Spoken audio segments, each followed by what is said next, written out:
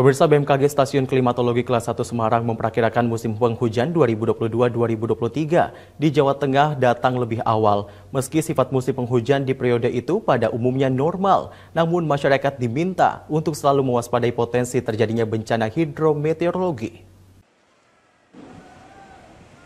Badan Meteorologi, Klimatologi, dan Geofisika Stasiun Klimatologi Kelas 1 Semarang memperkirakan awal musim penghujan periode 2022 hingga 2023 di wilayah Jawa Tengah akan terjadi pada bulan Oktober atau terjadi lebih cepat 1 hingga 3 dasarian alias sekitar satu bulan dari waktu normal.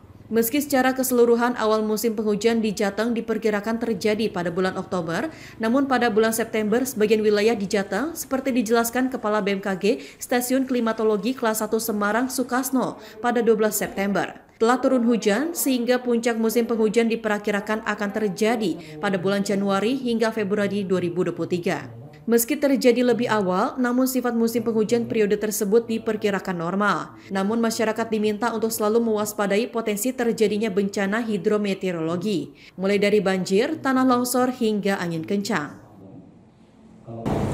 normal kalau tahun kemarin kan e, perakiraannya di atas normal, normal sampai dengan di atas normal.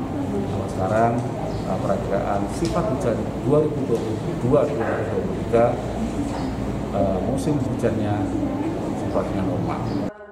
Selain itu, para pelaku kegiatan pelayaran, khususnya nelayan dengan perahu kecil, diimbau untuk lebih mewaspadai terjadinya cuaca buruk saat peralihan musim, karena di saat tersebut sangat rawan terjadi gelombang tinggi disertai angin kencang.